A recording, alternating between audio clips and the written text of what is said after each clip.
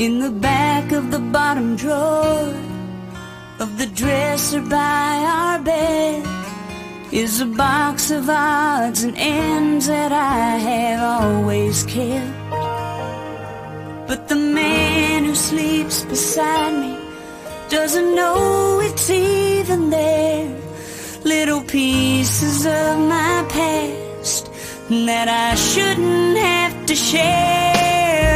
A napkin that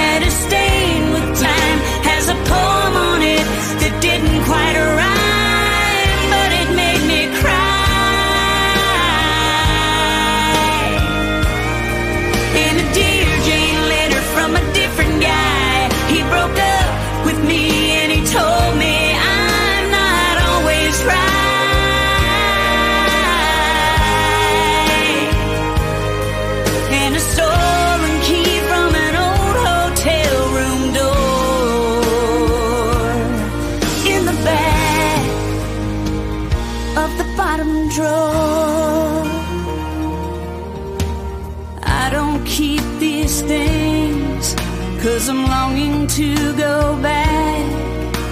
I keep them because I wanna stay right where I'm at.